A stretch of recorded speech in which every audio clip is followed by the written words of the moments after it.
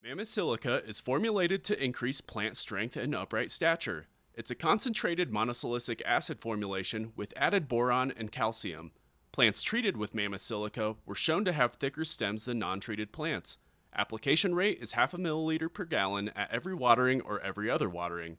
Mammoth silica is also labeled in Oklahoma for foliar applications, and the rate is a range between 2 and 8 milliliters per gallon every 5 to 7 days. We recommend mixing silica in first in a fertilizer solution in order to avoid any potential mixing incompatibilities.